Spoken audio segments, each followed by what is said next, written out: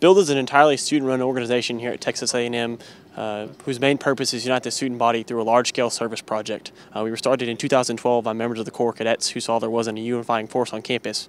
So they decided then to you bring a large-scale project back to campus. And how we do that is we build Texas Aggie medical clinics out of shipping containers. And uh, we first kind of got the idea to do medical clinics uh, from Christ United Methodist Church here in College Station when they built a similar one with their church congregation. Uh, each week we work from Monday through Friday, 8 to 5, and we get as many volunteers out here as we can to uh, help with the construction of the containers.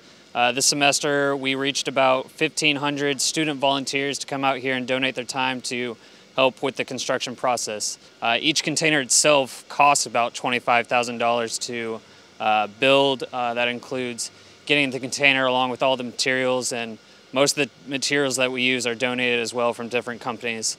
Build partners with Medical Bridges, and we uh, ship the containers to Houston, and they decide where they go. So we have TAMCs in Haiti, Honduras, Iraq, and so this is an ongoing project. We create four a year, and so any donations would be greatly appreciated as we continue to unite the student body and help create a better world with these medical clinics.